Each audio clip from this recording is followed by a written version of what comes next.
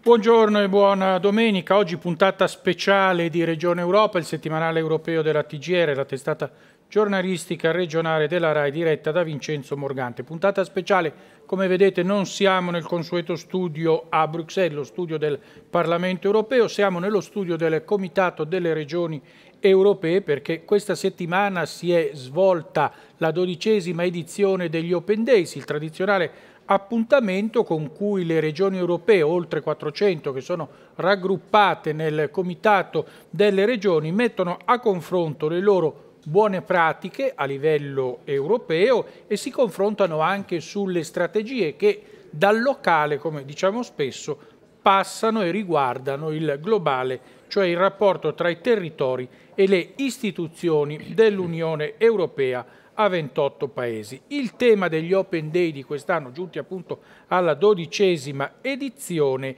era il tema dell'Europa, l'Europa della mia regione, l'Europa della mia città, insomma un modo per avvicinare ancora di più, dopo le elezioni europee del 25 maggio, i cittadini all'Unione Europea, crescendo insieme, infatti l'altro slogan di questa edizione degli Open Day.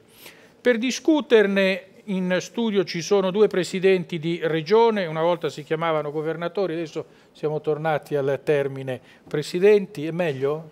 Per me sì perché non siamo in America. Sergio Chiamparino, presidente della regione Piemonte e per lei Luciano D'Alfonso, presidente della regione Abruzzo? Assolutamente sì perché mi ricordo che siamo amministratori.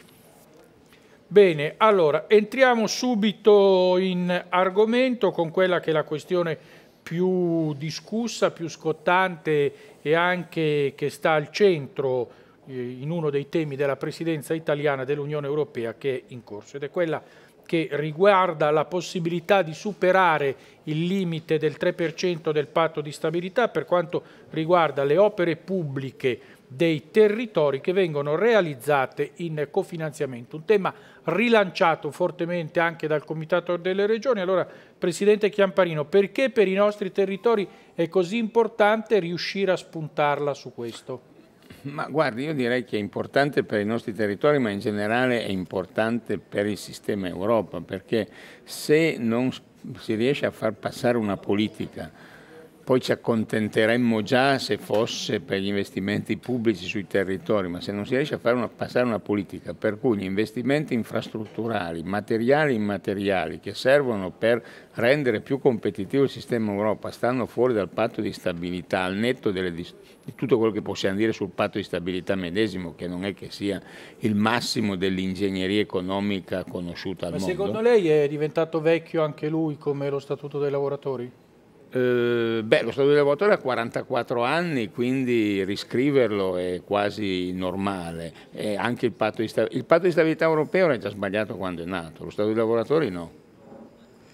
Per lei, Presidente? Assolutamente sì, è una necessità, almeno per quanto riguarda alcuni comparti di investimenti. Penso alle infrastrutture produttive per la mobilità, penso anche alla messa in sicurezza del suolo. Noi abbiamo un territorio nazionale che è caratterizzato da una diffusissima struttura friabile, debolissima, che ad ogni pioggia rivela tutta la sua debolezza, quindi noi dobbiamo assolutamente operare per mettere in capacità di reazione il nostro territorio rispetto ai disastri. Poi abbiamo il tema anche dell'edilizia scolastica italiana, che per adesso ha visto una iniziativa da parte del governo in carica, del governo Renzi, ma c'è ancora molto da fare e il vincolo che noi abbiamo assunto impedisce anche alle amministrazioni territoriali di investire quello che hanno. Ecco perché va tematizzato e risolto.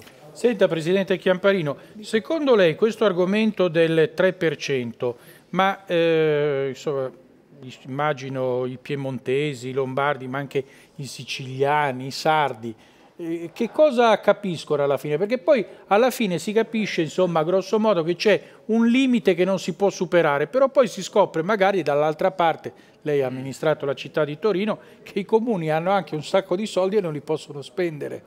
Beh, questa è la, la logica paradossale del patto di stabilità, almeno per come è stato applicato fino ad ora, perché eh, quello che, sta, che, succede è che molti comuni che pure potrebbero avere la possibilità di spendere perché hanno, fatto, hanno le gestioni virtuose non lo possono fare perché se no sfondano il patto di stabilità. Però quello che i cittadini capiscono è quello che diceva Luciano D'Alfonso adesso, cioè che noi abbiamo un territorio che in alcune parti del paese fa acqua purtroppo non metaforicamente da tutte le parti, abbiamo un sistema di trasporto pubblico che è insufficiente, abbiamo tante cose da affrontare e non riusciamo a farlo perché eh, ci sono dei limiti che sono oltretutto secondo me non coerenti con quella che è l'impostazione filosofica originaria dell'Europa, perché io ricordo sempre che queste cose che stiamo dicendo adesso stanno tutte, stanno tutte nel patto di Lisbona. Cioè c'è stata poi una torsione, come dire, neoliberista a un certo punto, fatta peraltro in ritardo, che, e che quindi non ha impedito la crisi, del, che eh, sta impedendo adesso che le risorse che ci sono nel sistema europeo possano aiutare la ripresa. Cioè poi se lei vuole fare una domanda provocatoria me lo faccio già io, cioè quello che la sinistra non in Italia. No, in questo no, volevo, no la domanda io... che le volevo fare era questa, e cioè che, ma perché i francesi eh, ogni volta che dicono da Bruxelles avete superato il 3%, sostanzialmente riescono a rispondere avete sbagliato i conti? Perché i francesi hanno una storia mh, complessiva e anche una storia di credibilità nei rapporti con la Germania e con l'Unione Europea più forte di quella dell'Italia e che però noi possiamo recuperare e che credo in parte con il nuovo governo stiamo anche recuperando. Quindi secondo lei Presidente da Alfonso si potrebbe rispondere come fanno i francesi, cioè rispettiamo il 3%, però su questa cosa degli investimenti pubblici a livello locale eh, andiamo oltre perché abbiamo bisogno di una ripresa economica e soprattutto di una ripresa di coesione sociale e di più posti di lavoro. Assolutamente sì, e io colgo che siamo in cammino lungo questa strada, cioè di riprenderci una capacità davvero di coesione decisiva, cioè di saper decidere in maniera coesa all'interno e far valere le ragioni anche di un piano di sviluppo e di investimenti. Se per esempio noi non ci adoperiamo per mettere in sicurezza il nostro suolo e il nostro sottosuolo, poi lo paghiamo come danni Paradossalmente, ciò che assumiamo come vincolo a monte e che non ci consente di investire a valle, poi a conseguenza e a, conclusi e a conclusione noi rischiamo di spendere ancora di più nei risarcimenti, nelle riparazioni, negli interventi postumi, ma questo riguarda anche gli investimenti destinati alle infrastrutture produttive.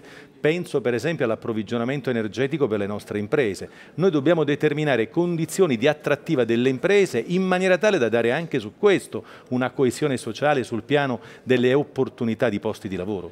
Qual era la domanda no, che pensava che le facevo? Che, ma me l'ha già, fatta, ah. già fatta prima lei quando ha detto dello Stato dei lavoratori.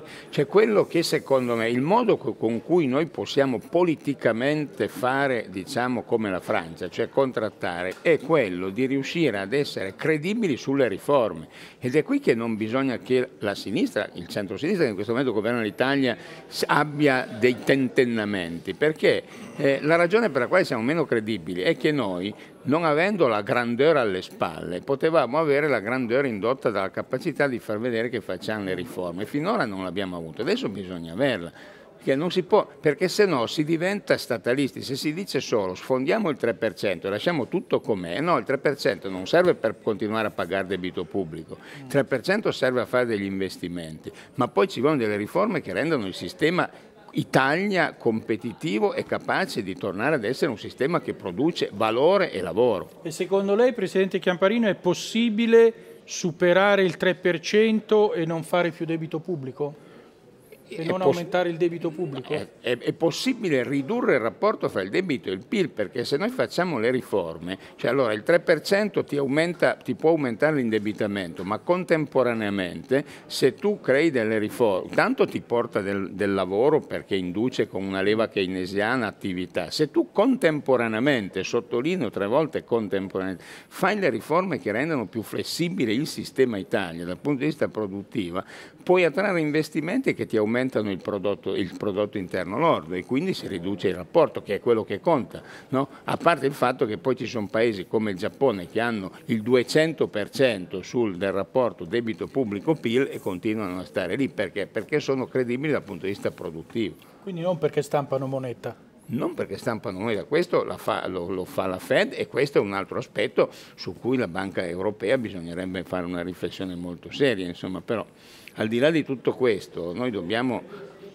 tornare ad acquisire credibilità come un grande paese industriale, che siamo stati, siamo ancora e possiamo tornare ad essere anche agli occhi del mondo che invece ci vede forse con delle lenti un po', di, un po opache, un po' appannate. Senta Presidente D'Alfonso, per la programmazione 2014-2020 che idea avete in Abruzzo? Di arrivare per tempo, di metterci tutta la responsabilizzazione occorrente e di coltivare solo la cultura del progetto e la cultura del risultato. Noi abbiamo nei prossimi sette anni qualcosa come 2 miliardi di euro, sommando tutti gli strumenti, e questo sappiamo che è irripetibile per quantità e qualità. Allora si tratta di assumere come risultato non l'impegno o formalmente la spesa, ma la capacità di raggiungere risultati capaci di produrre a loro volta risultati. Su questo ci stiamo dotando di una struttura amministrativa interna, riassumendo all'interno la parte anche nobile del lavoro programmatorio, del lavoro di monitoraggio e del lavoro anche di rendicontazione, perché io dell'Europa assumo questo come valore più che le pesantissime procedure burocratiche, la cultura del progetto. Non deve esistere più una risorsa finanziante a rubinetto, ma una risorsa collegata e destinata a progetti, dei quali si possono misurare utilità e risultati conseguiti.